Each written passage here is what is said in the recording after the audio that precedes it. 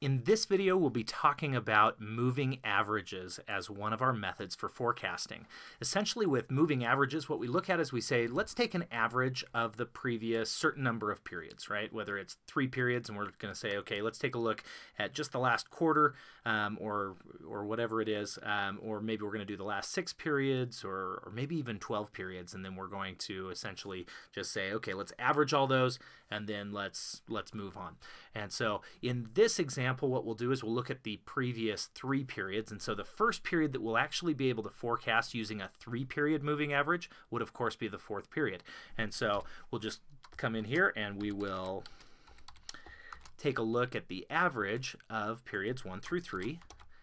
And, uh, and again, over here in the right-hand column, or in column F, what we've got is we've got the percent difference between the forecast and what our actual number was, um, our actual sales. So the data that we've got here um, is data from a, uh, a, small product line at one specific location, and uh, and so what we're looking at with um, with the numbers is essentially the percent difference says that our our actual sales were 24 percent greater than um, than what we forecast that they were going to be. And so we'll go ahead and we'll drag this down and we'll see how this compares to the naive approach that we had mentioned in a previous video.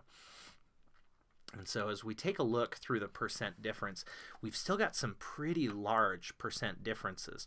Um, this is notably one of the largest here, so 94% difference between what we had um, what we had done here as well as the other. Now, one of the reasons that a moving average might be this far off, you know, 100% off um, or things, is uh, specifically for this product line, we are looking at um, we're looking at some seasonal data, and so a moving average wouldn't um, wouldn't show us year over year growth. It uh, it would probably just show us, of course, the last few periods, and then let's average those few periods. Um, and so some of the things that you can do, of course, with moving averages is is you might take a look at okay, what was period one last year, the year after that, and the year after that.